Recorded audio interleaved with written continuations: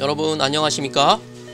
고객의 멀쩡한 타이어 휠을 일부러 구부려서 수십만 원의 교체 비용을 청구하는 세상입니다. 그게 어디 타이어 업계뿐이겠습니까? 이미 모든 업종에 수리 업계에 만연해 있는 사기 수법들이겠지요. 그래서 사람 인상만 보거나 매장 사이즈, 브랜드만 보고 잘해주겠거니 믿으시면 절대 안 됩니다. 오늘은 컴퓨터 수리할 때 사기 안 당하는 방법을 말씀드리려고 하는데요. 선 요약을 하자면 절대 출장 수리는 부르지 마시고요. 집 근처에 정상적으로 영업하는 수리점으로 직접 들고 가셔서 수리 받으시라는 것과 맡겨놓고 가라고 한다면 적어도 컴퓨터 내부 안에 부품 사진 촬영하는 신용이라도 하라는 것입니다. 컴퓨터에 대해 정말 잘 모르시는 분들께서 주로 출장 수리를 이용하실 텐데요.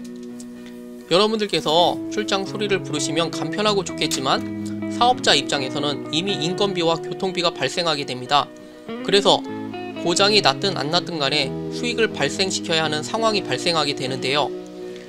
최소 수리 비용이 10만원 이상 무조건 청구된다고 보시면 맞을 듯 싶습니다.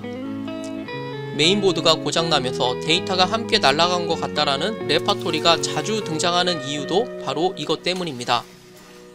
고객 입장에서 중요한 데이터나 문서, 사진들이 날아갈 수 있다고 생각하면 굉장히 당황하게 되는데요. 이럴 때 고객의 반응 상황에 따라 얼마를 뽑아 먹을지 판단하게 됩니다.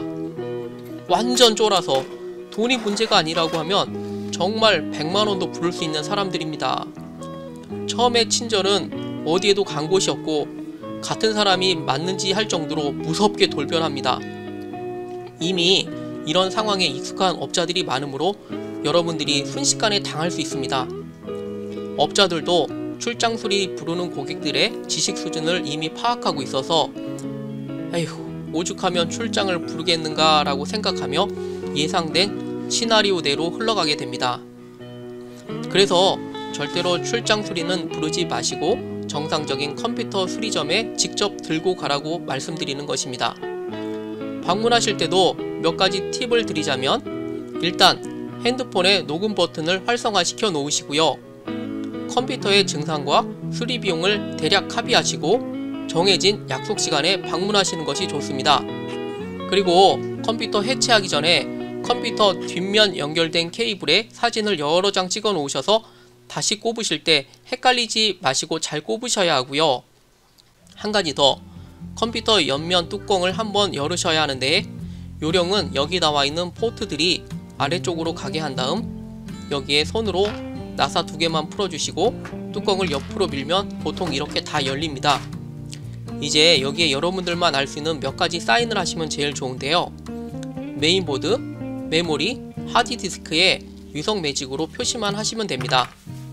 사실 CPU가 제일 중요한 부품이긴 한데 여기에 표시하는 것은 정말 어렵기 때문에 이렇게 테이프로 CPU, 쿨러와 메인보드를 붙여 놓으시면 좋을 것 같습니다. 그리고 사진을 여러 장 찍어 놓으셔서 수리가 끝나고 왔을 때 변경이 된 부분이 있는지 간단하게 비교해 보시면 됩니다. 컴퓨터에 대해 많이 알고 있는 것처럼 보이기 위해 옆에 뚜껑을 굳이 닫지 않고 그대로 가져가시는 것도 추천드립니다. 곧바로 해결이 안 된다고 하면 어떤 부분이 고장이 난지 확인하시고 예를 들어 메인보드가 고장났다고 하시면 바로 앞에서 사진을 몇 장 찍는 것을 보여주셔야 좋습니다. 그리고 교체 비용과 중고 신품 여부를 반드시 물어보시고요. 보통 신품으로 교체되는 일이 거의 없다고 보시면 됩니다. 왜냐하면 최소 3에서 4년 된 PC에서 불량이 나는데요.